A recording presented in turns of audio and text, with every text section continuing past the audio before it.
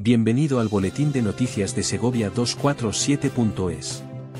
Lunes 28 de octubre del 2024. La secretaria general de FP zanja unilateralmente la renuncia del gobierno a que el CITAR se instale en Segovia. El Ayuntamiento de Segovia pierde así la oportunidad de implantar el CITAR en el edificio CIDE. Miguel Ángel de Vicente asiste en Ciudad Real a la Comisión de Diputaciones, Cabildos Insulares y Consels de la Federación Española de Municipios y Provincias. El presidente de la Diputación, Miguel Ángel de Vicente, ha participado esta mañana en la Comisión de Diputaciones, Cabildos Insulares y Consels de la Federación Española de Municipios y Provincias, que se ha celebrado en el Palacio de la Diputación de Ciudad Real.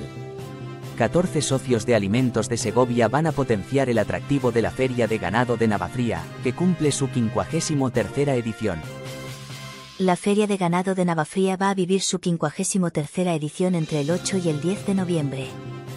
Una de las citas del panorama agroganadero más arraigadas en el territorio provincial va a volver a contar con el apoyo de la Diputación.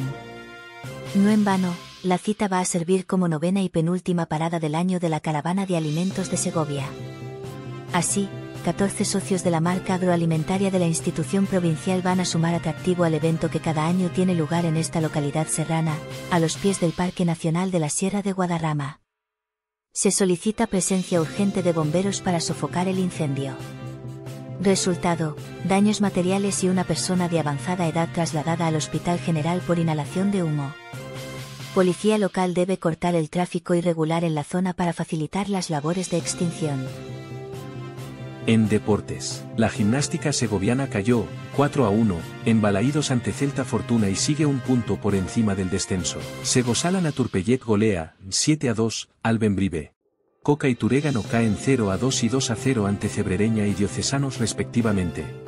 En la previsión meteorológica en Segovia, tras un fin de semana lluvioso hemos tenido un lunes de tregua pero las precipitaciones regresarán en la tarde-noche del martes. Esto ha sido todo por hoy. Para más información visita nuestra web segovia247.es y nuestras redes sociales de Facebook, y nuestros canales de Telegram y WhatsApp y X, de antiguo Twitter. Saludos.